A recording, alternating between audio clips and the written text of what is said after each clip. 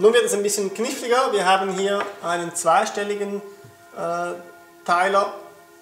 Da nehme ich mir diesen Trick zur Hilfe und schreibe die ganze Reihe hier einmal auf. Die 25er Reihe. 25, 50, 75, 100, das haben wir ja schön geübt. 125, 150.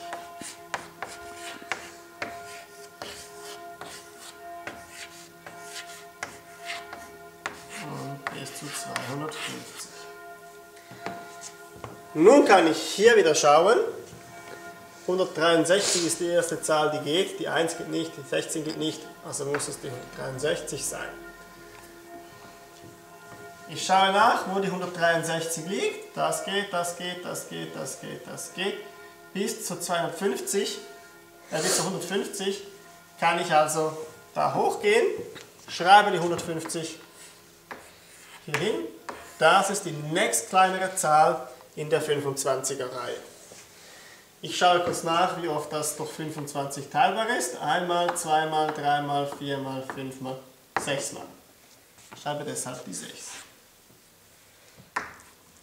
Ich berechne die Differenz. 0 plus wie viel gibt 3? 3. 5 plus wie viel gibt 6? 1. Ich nehme die 2 dazu. Jetzt schaue ich wieder auf meinem Spick nach, welches die nächste Zahl ist, die unter 132 liegt.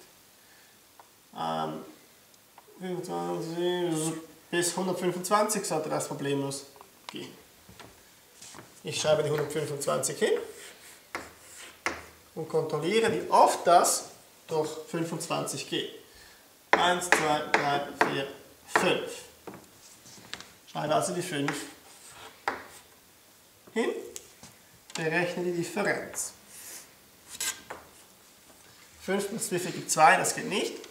So rechne ich 5 plus wie viel gibt 12, mache dafür hier eine 1.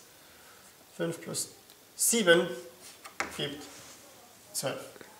1 plus 2 gibt 3. Plus wie viel gibt 3? 0. 1 plus wie viel gibt 1? Ebenfalls 0.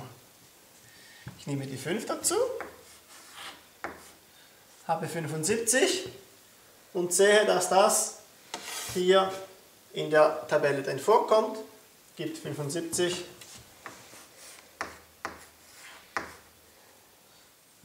Es geht 1, 2, 3 Mal.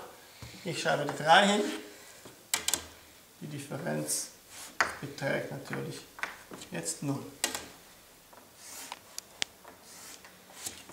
Voilà.